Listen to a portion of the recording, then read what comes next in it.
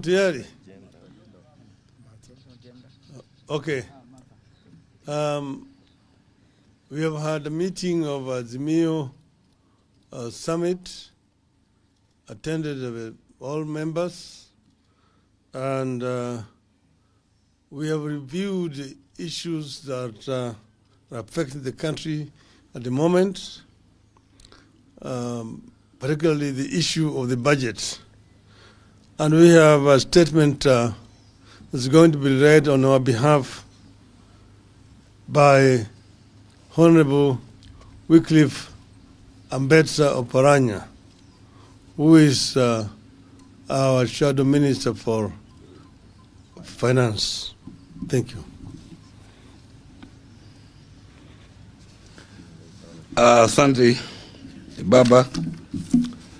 Uh, ladies and gentlemen, welcome to today's uh, press conference of the Azimio Summit. We have had a meeting of Azimio Summit and the technical team regarding the inaugural budget estimates including its so-called amendments that Kenya Kwanza moves for second reading in the National Assembly tomorrow. After going through the document, our position remains that the budget proposal remains flawed beyond redemption.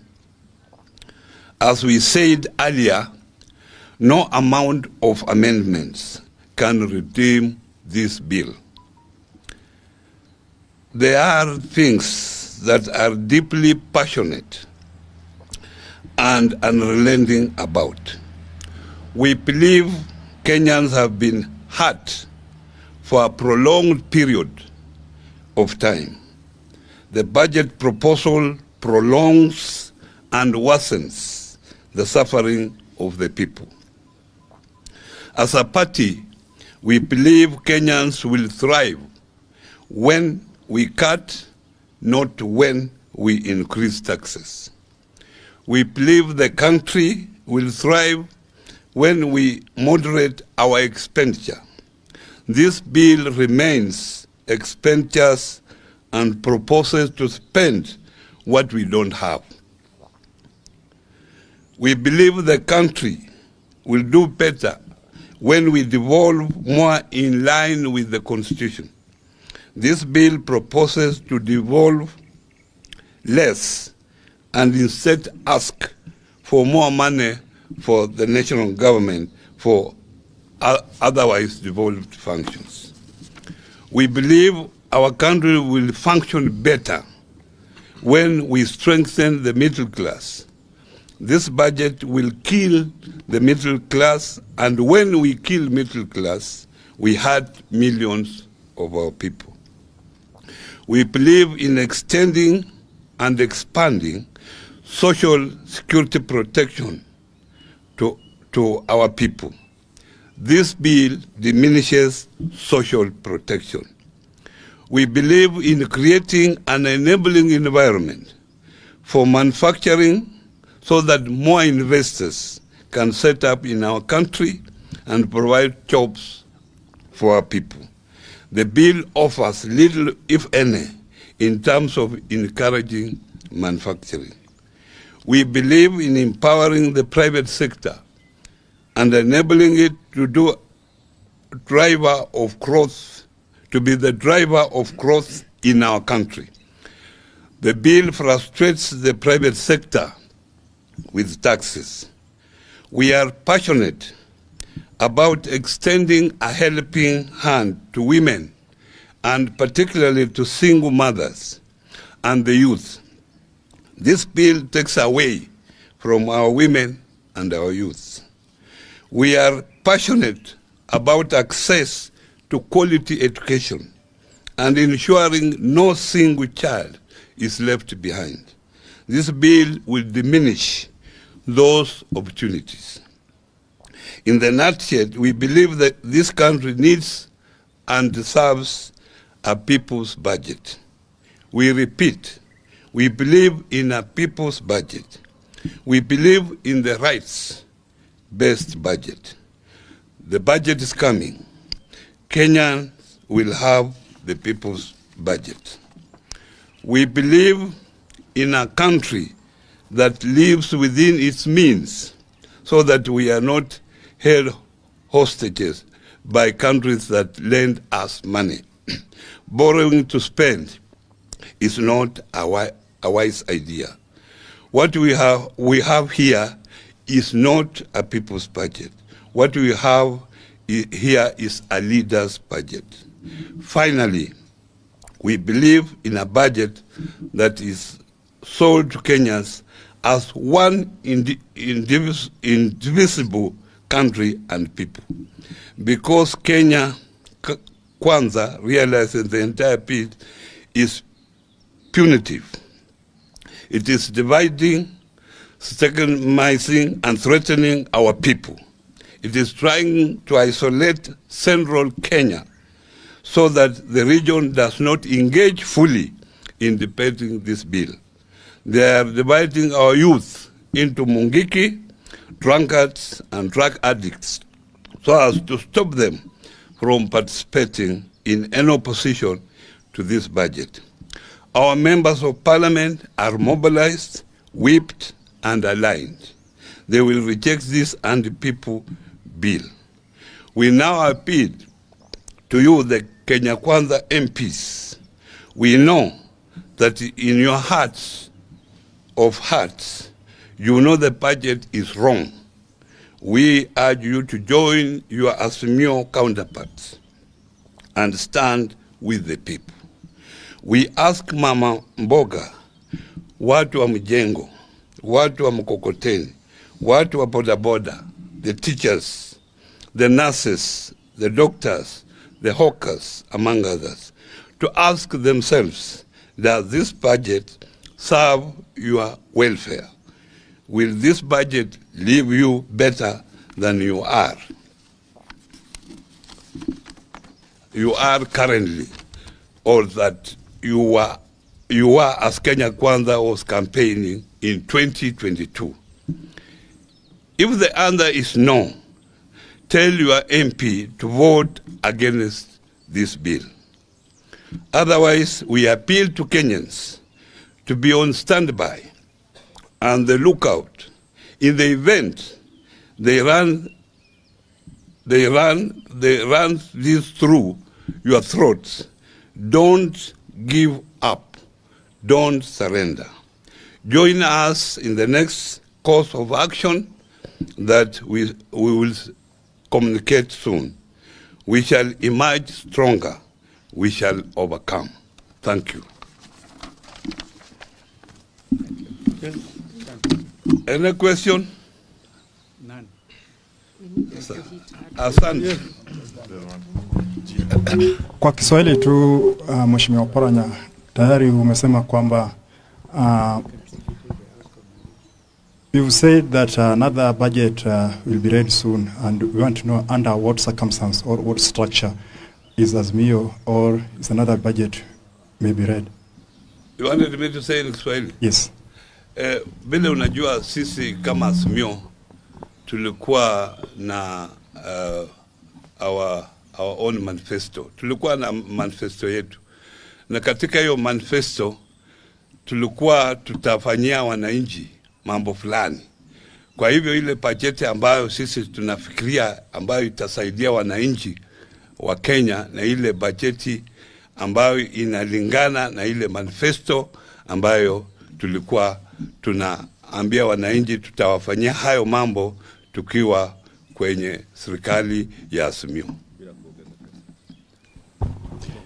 Jina langu ni Mike Kaguongo kutoka TV47. Swali langu ni je, hii bill kuna kitu kimoja au viwili vizuri ambavyo mmeviona kama Azimio ama mnataka wabunge wavitupilie waitupilie yote kwa ujumla? Unajua vile vitu, hata tukiwa na kitu kimoja kizuri au vitu viwili vizuri, lakini yale yako mengi ni mabaya. Sasa huwezi kufanya amendments kila kila kipengele. Ndio kwa sababu tunasema hii bill si bili mzuri, ni bili mbaya, itupuliwe mbali,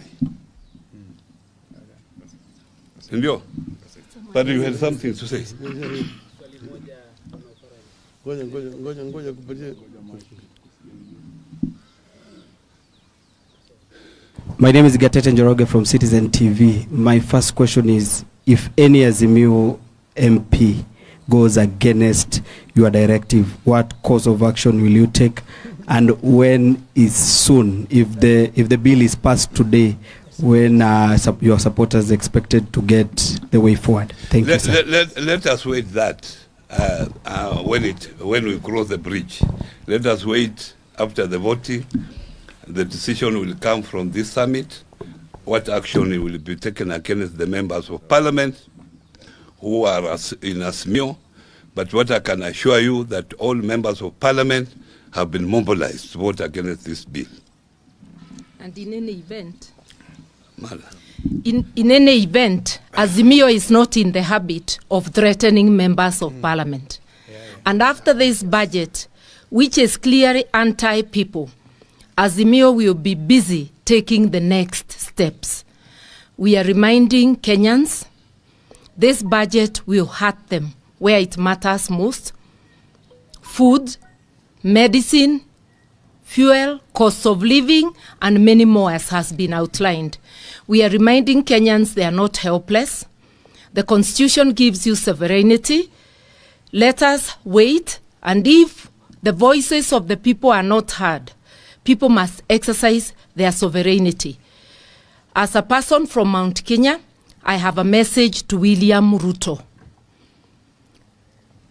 Following his utterances calling our youth Mungiki yesterday, I want to remind him that these are the same youth he requested for votes from, calling them hustlers.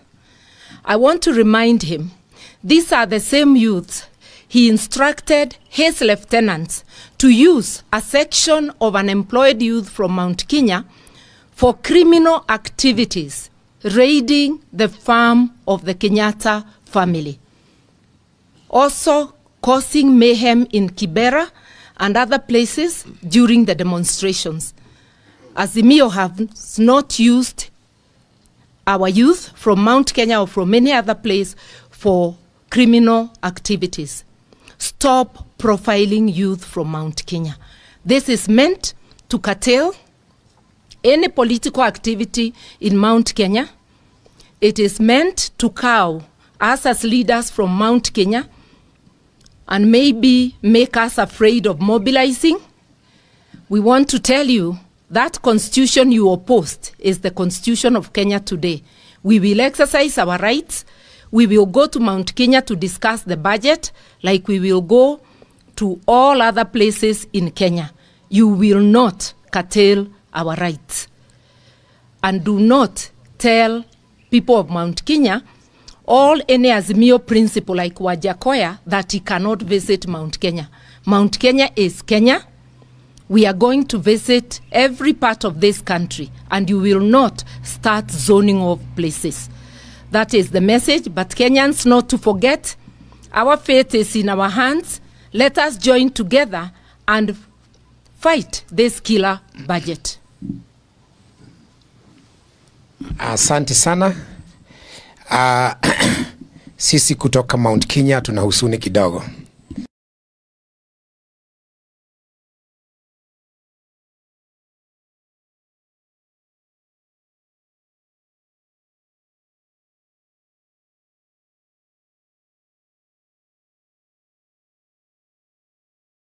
Tumesikia kwamba kuna idhini ambayo imetokea kwamba Waluya wengine wasikanyange katika eneo ya Wakikuyu.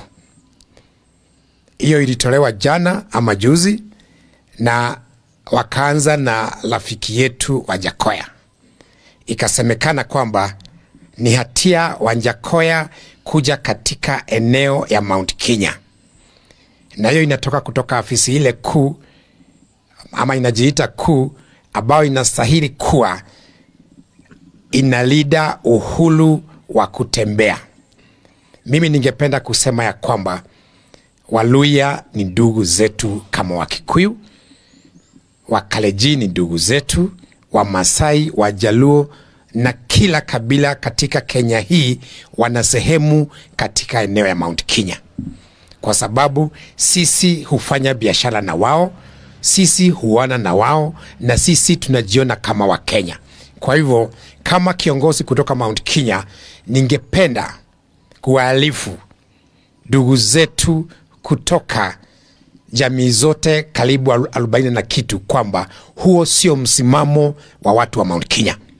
Tunamwalika nyote, Wajakoyo akuje, Atwoli akuje, Oparanya akuje, Mudavadi akuje na wale kutoka jamii zingine wakuje, na mimi ndiye nitakuwa kwanza kuhost Wajakoya katika mlima Kenya. Wajakoya tengeneza siku, mkuje mkuje na baba na Wabaluya wote mkuje, tucheze isukuti Mount Kenya. Hiyo nyingine ni mambo ya youth wetu. Kenya kuna makabila zaidi ya 45. Sijasikia kiongozi yeyote akiongea kuhusu vijana wa Wamasai, vijana wa Kalenjin, vijana wa, wa Turkana ama vijana kutoka jamii nyingine yeyote. Sijui hii taifa inauliza vijana wa Kikuyu nini? Kama kuna wezi, kila community ina mwizi mmoja, lakini hapa wamelad hapa, serikali imekuja Central Kenya kuongea kutuhuzu vijana wetu, watu waende wakaongee kuhuzu vijana wao na hatuwezi kubali kama jamii vijana wetu wawekwe uoga ili wakiwa wazee na wakina mama wawe ni wazee na akina mama ambao hawana msimamo. Sisi kama viongozi kutoka Central na tumeungana na viongozi kutoka eneo zingine zote, tutalida vijana wetu ili wasibadikwe majina na viongozi, na nataka kurudia vile ambavyo tulisema tutachukua hata hatua ya kwenda kwa UN ili tuulize why are our youth being profiled. Na mimi ningependa mawakili wetu waanze kutayarisha, na nimewaambia kabla waguze kijana mwingine mmoja, ile damu ambayo ilitoka wakati wameuliwa vijana wetu, hiyo kwanza walipe kabla ya wafikirie jama ya kuwa vijana kutoka Central Kenya wakiwaita Mungiki. Sisi tutaenda UN, vijana wetu hawatawekwa baridi na kiongozi yeyote katika Jamhuri ya Kenya. Kione, do you have something to add? ni kusema tu mkumbuke mkumbuke wakati wa ICC the witnesses the Kikuyu youth witnesses of what happened in Rift Valley waliitwa Mugeki na wakauawa wote, na wale waliita waliwaita Mugeki wakati huo ndio wamewaita mkeki wakati huu. Hiyo jama haitawezekana, sahau.